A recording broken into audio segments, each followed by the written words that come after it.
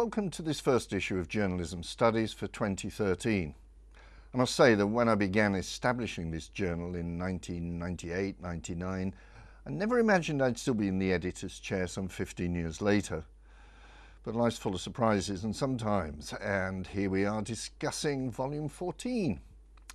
The journal's been a considerable success in terms of the discursive space it provides for the discussion of key issues in journalism the academic rigour and scholarly creativity which authors bring to that discussion, and the very expansive number of subscribers who read the journal in hard copy or increasingly online. For me, it's still a great thrill to be the editor of this journal, which means that every day new submissions find their way onto my inbox and keep me in touch with the very latest research in the field.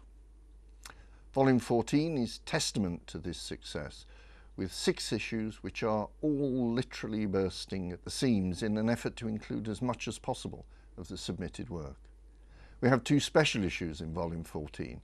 The first is edited by Lilie Chouliaraki from the London School of Economics and Bolette Blaagaard from City University London.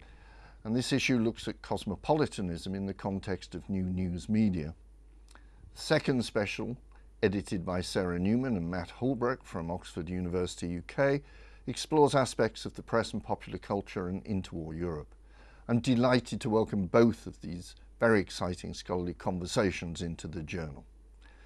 But what about issue one, which kicks off our activities and thinking for 2013? Meenakshi Gigi Durham leads the issue with a powerful study and analysis of the gendered violence in the New York Times reporting of the gang rape of a schoolgirl, while Irene Costera study of When News Hurts focuses on the promise of participatory storytelling for urban problem neighbourhoods. Maximilian, Hänska-Ahy and Roxanna Shapour ask who's reporting the protests in their fascinating account of the changing and they argue converging practices of citizen journalists and two BBC World Service newsrooms in reports of Iran's election protests to the Arab uprising.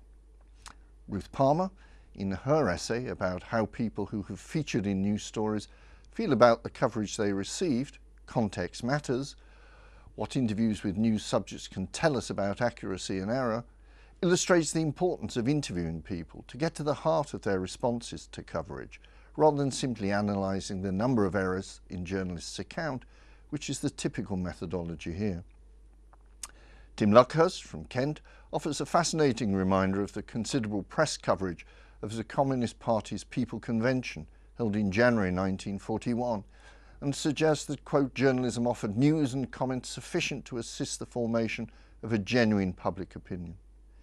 Elaine Yuan adopts a community structure approach to online journalism in social transformations, while Yigal Godler and Zvi Reich consider how journalists think about facts and theorize the social conditions behind epistemological beliefs.